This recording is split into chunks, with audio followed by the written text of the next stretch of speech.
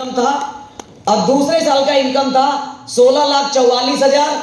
तीसरे साल का इनकम था बाईस लाख तेईस हज़ार। चौथे साल का इनकम था चालीस हज़ार। तीस लाख। और मेरा पिछले साल का इनकम है डीएक्सएम में चालीस लाख। यानी कि लगभग सात साल में, सात साल में मैंने डीएक्सएन में दो करोड़ से ज़्यादा का एसेट खड़ा किया है।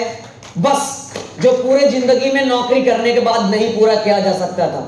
फ्यूचर ऑफ़ डायरेक्ट सेलिंग का अगर देखें इसका भविष्य तो 2019 के अनुसार 120 मिलियन लोग डायरेक्ट सेलिंग इंडस्ट्री में हैं और सभी उम्र के लोग हैं 18 से 24 उसमें से world federation of direct selling association के अनुसार चौहत्तर प्रतिशत महिलाएँ सक्सेस है और 26 परसेंट मेन है। लेकिन इंडिया में ये सिनारियो चेंज हो जाता है। इंडिया में 50 50 था 50 51 भी हो गया है।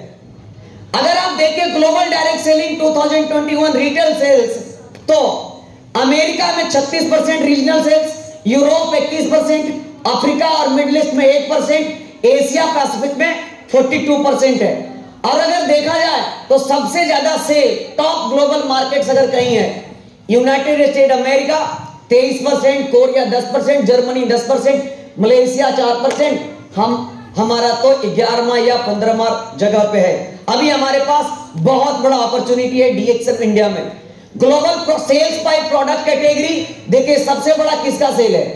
Wellness 35 percent cosmetic and personal care 25 percent home care products और ये सभी प्रोडक्ट्स हमारे पास हैं जो डी, जो इंडिया में सबसे ज़्यादा बिकने वाला प्रोडक्ट है।